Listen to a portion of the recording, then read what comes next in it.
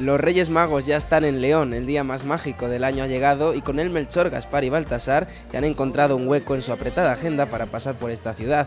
Decenas de familias esperaban a mediodía en la estación la llegada del Oriente Express con forma de tren moderno. De él bajaron los tres magos con sus túnicas de gala, sus barbas y turbantes y fueron recibidos por el alcalde de León. Mientras tanto, los niños llenos de ilusión y convencidos de su buen comportamiento durante el último año recibieron a sus majestades, les vieron de cerca y algunos aprovecharon para entregarles la carta con la lista de regalos. Pues yo me he pedido un Lego de Harry Potter, un muñeco, un Funko Pop, que creo que se llaman, de Karate Kid, y un juego que se llama Gastón Cabezón. Un libro de aventuras legendarias de Ana Cadabra. Eh, pues unos patines legos de la casa de Gaby. Lego. Una casa de muñecas mm, de Lego. Un Lego.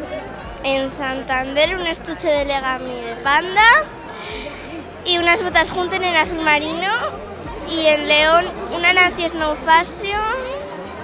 No quedó ni un solo pequeño sin saludar en la estación de tren y muchos se hacían fotos con su rey mago preferido y hay que decir que ganó el europeo. Melchor. Melchor. Melchor también. El de la barba blanca. Melchor y Gaspar. Baltasar. Melchor. Melchor.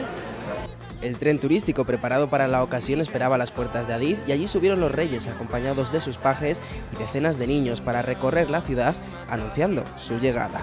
Un paseo en el que los niños que estaban junto a sus majestades los miraban con ilusión y les preguntaban por su edad o si habían probado la cecina de león.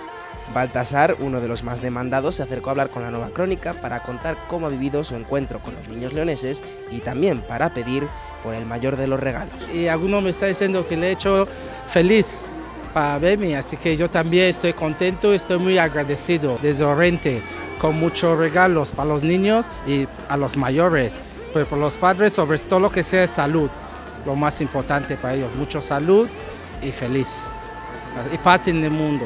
Terminado el recorrido real, los magos llegaron al ayuntamiento de San Marcelo donde fueron recibidos por las autoridades. De nuevo, los abrazos, las cartas y los gritos por reclamar la atención de los Reyes Magos llenaron la ciudad de la ilusión de los niños leoneses antes de la cabalgata y esa visita nocturna que hará realidad todos sus sueños.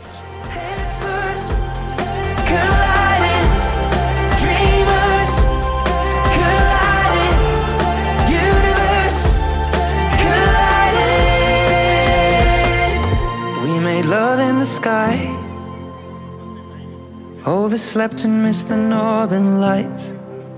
You lost your wedding ring, but I didn't mind. Cause I got a feeling, baby, we'll be fine.